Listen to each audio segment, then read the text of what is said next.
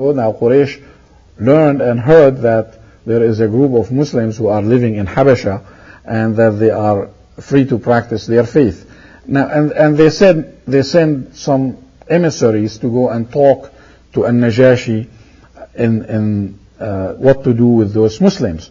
And here their fear, of course, was, again, I mean, it's not only, it's a matter of pride that, okay, we have a group of people who left and went there, but also there was a fear that An-Najashi might become a Muslim, and if he does, uh, he was a, a, center of power at that time. If you kind of imagine with me the, the Arabian Peninsula, you have three surrounding it, three or four center of power, centers of power. One was in uh, Persia and the Persian kingdom. The other one was the Roman Empire. And as an extension of the Roman Empire was their, the rulers of, uh, of upper, of Egypt, which is closer to the Mediterranean, northern Egypt. And then you have the Al-Habasha, which is Ethiopia. There was a very big kingdom that included at that time what is now Ethiopia, part of Somalia, Eritrea, and part of Sudan. And all that was under the rule of uh, Najashi. And they were afraid that if this Najashi became a Muslim, that those Muslims will come back and retaliate from them, and they will become conquered by uh, the uh, foreign force. So they sent to them two of their most eloquent speakers, and they say one of them was Abdullah ibn Abi Rabi'a, and the other one was Amr ibn al-As. Now Amr ibn al-As was, and he was the one who went there to talk to al-Najashi in the affair of those Muslims who seek refuge in al-Habasha. And he came to him and he said, this, these are, and he brought with him a lot of gifts, horses and, and Persian rugs and, and, and uh, date and you name it in order to really be at his, his good offices. And he came to him and he said, these are children of very powerful people in Mecca.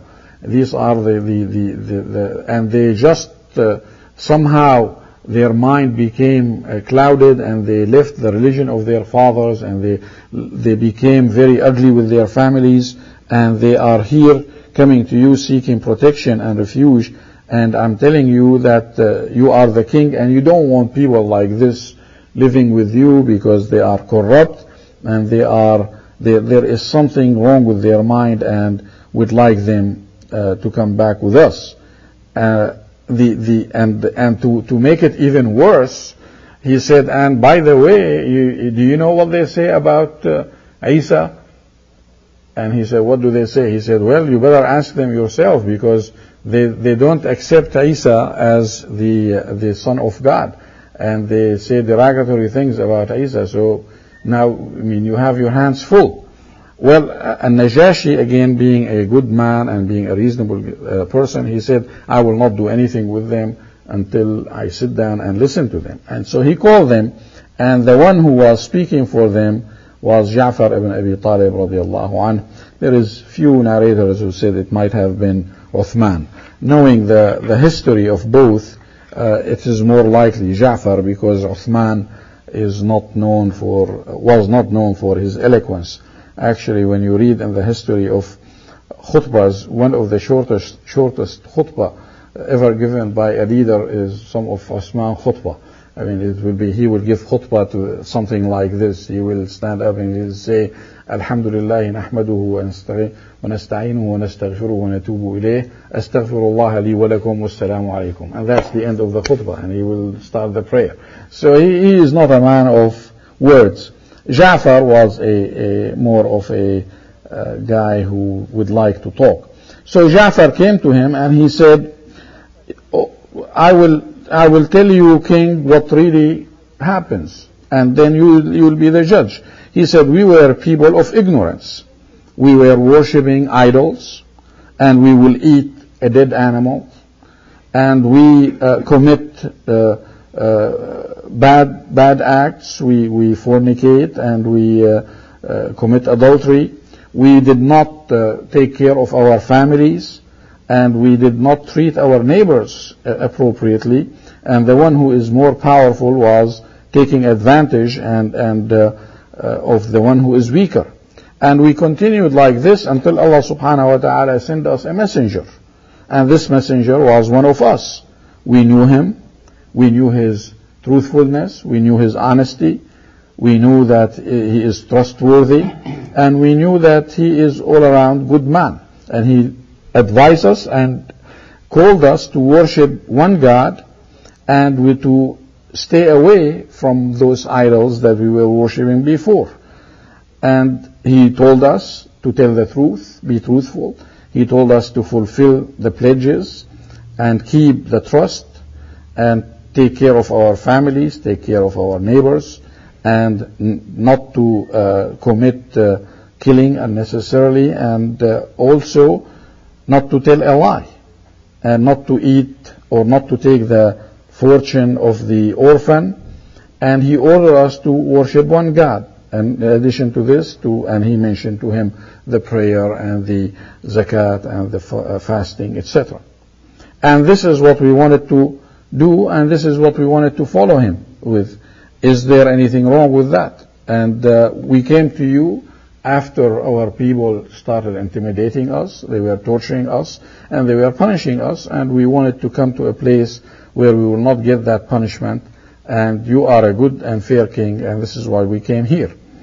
Well, he, he uh, the, when Najashi heard this, his heart became soft, and he pretty much accepted that talk. But he said, "Well, what is the story about uh, about uh, what you say about Isa, Isa alayhi salam? Is it true?" And now here is the trick. Now you you, you can do one of two things. You can either spice the story a little bit so the Najashi will accept it because you know as it is in the Quran al-Karim it is straightforward. Now they knew what the Najashi believed in or the Christians at that time and that is Isa is the son of God. That that was the the uh, acceptable faith. So if they tell him he is not the son of God, then he will be mad and he might give them up. But on the other hand, how are they going to spice and, and kind of change Al-Quran because of the, or what the Prophet told them. So what will you do? Well, the uh, uh, um, uh, Ja'far ibn Abi Talib radiallahu anh, was a student of the Prophet he is a graduate of the school of the Prophet, so he's, is going to tell the truth. So he told him, he will tell you what we have and what our Prophet told us about him, and that he is the servant of God, he is Abdullah, and he is the messenger of God, Rasul, and he is the spirit of God, waruhihi. And he is the word of God as he uh, threw it or gave it to Maryam, uh, who is a virgin, who is uh, a good doer. So An-Najashi, when he heard this, he, he uh, stood up and he said, everything you said is the truth.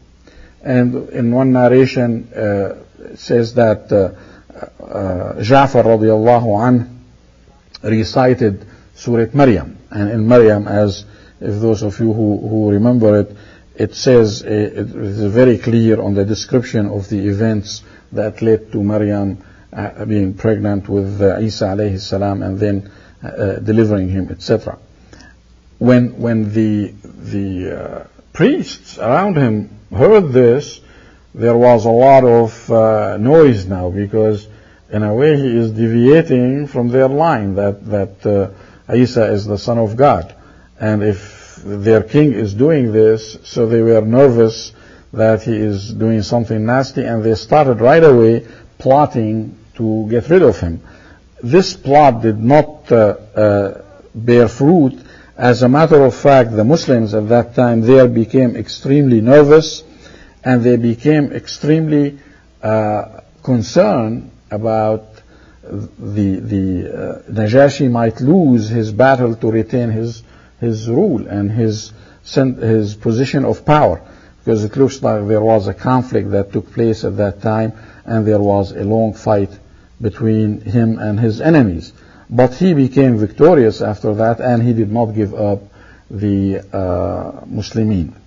There is, uh, and he turned around to, uh, uh to, to Amr ibn al-As and he, in a sense, uh, just kicked him out, told him that to, that what those people are telling is the same thing that we see in Al-Injil. They are telling the same message that we believe in, and I will never give them up, no matter. And he gave them back their gifts and their uh, presents that they brought to him in order to change his mind.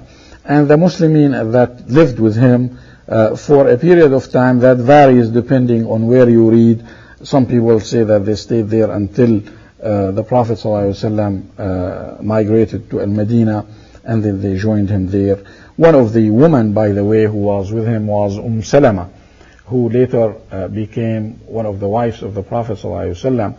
And the, the story is that she and Abu Salama, who is one of the early Muslims, were there and on the way back, her husband died, Abu Salama. And as he died, she became extremely distraught because he was a very good man and he was a very honorable man in his community. And